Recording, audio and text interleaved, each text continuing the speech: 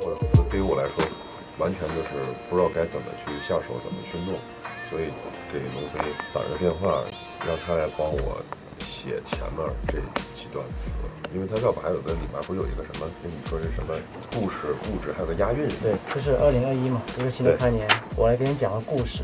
说实话，在峰哥你之前做演员的时候，你是一个以一个演员身份告诉大家我是谁。但是你在舞台上面像歌手，所以说二零二一我来给你讲个故事。故事的主人公他特别特别固执，这也就是你的性格。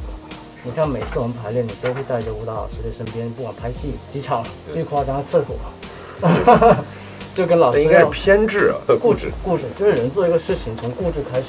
可以。偏执的话，咱们就只是说对一个事情，不管是对还是错，我们还偏执，这叫偏执。但是我们是固执做一个事情嘛，对吧？你像你说的，你跟老师在机场分别了，对，他还要回头看着你，峰哥再给我跳一遍，没错，再走，对，这就是你。然后从他站上这个舞台，看到那道光的开始，这也就是你来到这个节目，这个光对于歌手在舞台上面是很重要的。没错，对，而我本身也追光的嘛。对你这个光就是我的目标，然后就是那股年少的轻狂正在唤醒他本该有的样子。那我们不管做演员也好，演员他可能有很多角色，但是歌手在舞台上面就是只有一个角色。那我就是歌手，今天我是歌手李泽峰。黎明之前，漫长黑夜。其实对你来说很适合，因为你在这个节目里面本身你就是个演员，你要当歌手的话，你需要克服很多困难。你要唱，你要跳，你要同时唱跟跳，你还要学。所以说黎明之前，漫长黑夜，心有所念。人如果说做一个事情都没有坚定的话，那我怎么把剩下的走完？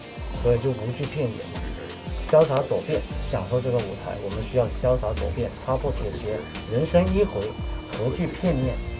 就是当你在舞台第一次的时候，说实话，你会。害怕掌声，对，因为歌手在舞台上面，掌声对来说很重要。我会怕有掌声或者是没有掌声，这个很重要的。所以说，我们要从容去享受这个舞台。一道彩虹，一束光，抬头便能看见。只需往前迈步，便能把影子甩在后面。这就是我们对这个舞台的一个开始，一个态度。所以，不知道您可不可以？可以，太可以了。我觉得这个词，我觉得这个让龙飞来也是因为他比较了解我，啊，因为别人都写不了。因为说实话，写这段词吧，它不是凭空而来的，对，因为这是我看到你身上，你在为这个舞台做出的东西。因为他这首歌《我的天空》，他其实讲说就是他们在坚持这个事情的时候，哦，会有现实，也有残酷，对，也有曲折。故事的主人公，他特别，他跟特别特别固执是连一起的。而且他这首歌，其实我是给人看到那种阳光的。嗯，就他们做所有事情，为什么歌名叫《我的天空》？就是每个人都有自己一片天空。我不不管他是成功与否，没错。对，那也没有人可以阻挡我抬头看天空的这个权利。主人公他特别特别固执。哎呦我去牛！哎，来了，就这个了，我们听一个啊。哎，I wanna say goodbye. I want a new life. You ready? You ready?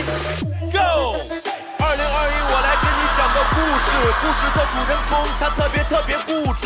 当他站在舞台，看到那道光的开始，那股年少轻狂正唤醒着黑夜，只有昨天无知边缘，小子走遍他们铁线，人生一回，何惧片面？一道彩虹，一束光，抬头便能看见。只需往前迈步，便能把影子甩在后面。不生气是风雨。哎呀，在控制台，老师，我想搬回家。我也想把那个也搬回家。